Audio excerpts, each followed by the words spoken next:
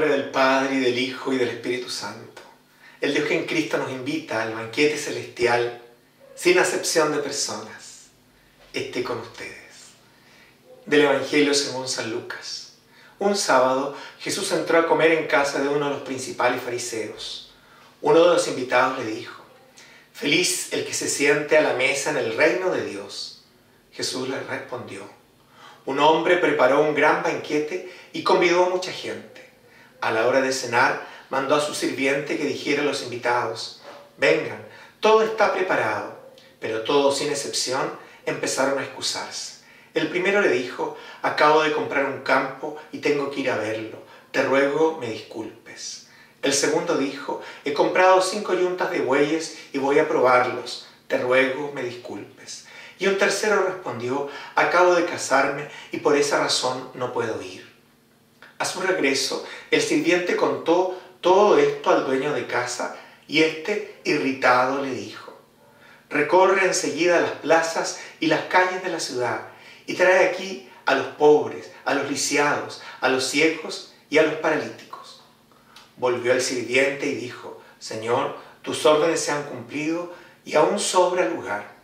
El Señor le respondió, ve a los caminos y a lo largo de los cercados e insiste a la gente para que entre, de manera que se llene mi casa, porque les aseguro que ninguno de los que antes fueron invitados ha de probar mi cena. En el banquete del reino celestial, muchos de los que en este mundo han sido los primeros serán los últimos, y muchos de los que en este mundo son siempre los últimos llegarán a ser los primeros. No despreciemos el convite de Dios. Tengamos una escala de valores tan nítida que siempre optemos primero por servirlo a Él, por aceptar sus convites para que un día también tengamos lugar en el banquete celestial.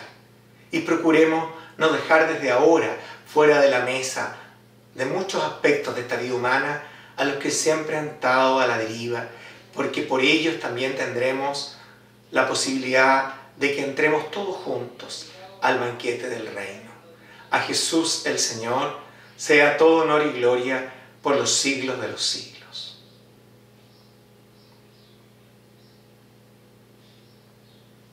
Creo, Jesús mío, que estás real y verdaderamente en el cielo y en el santísimo sacramento del altar.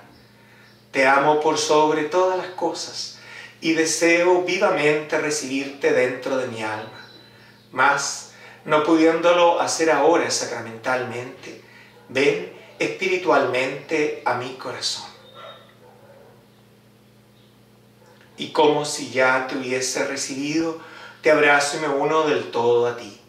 Señor, no permitas que me separe de ti.